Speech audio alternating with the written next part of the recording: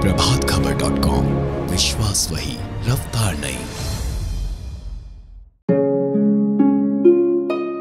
सरायकेला खरसावां जिला मुख्यालय से करीब 30 किलोमीटर की दूरी पर पहाड़ियों की तलहटी में बसा है रायजेमा गाँव। खरसावां प्रखंड की जनजाति बहुल रायजेमा गाँव में तैयार ऑर्गेनिक हल्दी इन दिनों लोगों की सेहत सुधार रहा है। सामान्य तौर पर हल्दी में करीब दो से ढाई फ़ीसदी करक्यूमिन होता है। परंतु रायजेमा की ऑर्गेनिक हल्दी में सात फ़ीसद से अधिक करक्यूमिन पाया गया है। यही इस हल्दी की विशेषता है। यहाँ के आदिवासी समुदाय के लोग बिना किसी उर्वरक के ही पारंपरिक तरीके से हल्दी उपजा रहे हैं।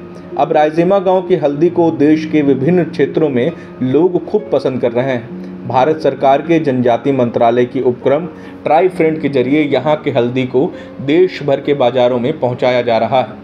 रायजेमा की ऑर्गेनिक हल्दी अब ट्राईफेड के आउटलेट में मिलने लगी। है यहाँ के हल्दी की गुणवत्ता अच्छी है, इसके बावजूद वर्षों से यह इलाका बाज़ार के लिए तरस रहा है। अब महिला स्वयं सहायता समूह के माध्यम से बाज़ार ढूंढ रही हैं। हल्दी में सक्रिय तत्व करक्यूमीन पाया जाता है, यह दर्द से आराम दिलाता है और दिल की बीमारियों से सुरक्षा रखता है। यह तत्व इंसुलिन लेवल को बनाए रखने और डायबिटीज़ की दवाओं के असर को बढ़ाने का भी काम करता है। हल्दी में एक अच्छा एंटीऑक्सीडेंट है, इससे पाए जाने वाले फ्री रेडिकल्स डैमेज से भी बचाता है। खरसावां के रायजेमा से लेकर कुचाई के गोमिया डीह तक पहाड़ियों की तलहटी पर बसे गाँव में बड़े पैमाने पर परंपरागत तरीके से हल्दी की खेती होती है। पहाड़ी क्षेत्र में रहने वाले इस बड़ी संख्या में आदिवासी समुदाय के लोग हल्दी की खेती से जुड़े हैं। पहाड़ी क्षेत्र होने के कारण हल्दी की खेती के लिए यह अनुकूल भी माना जाता है। सरायकेला खरसावा से शचेंद्र कुमार दास की रिपोर्ट।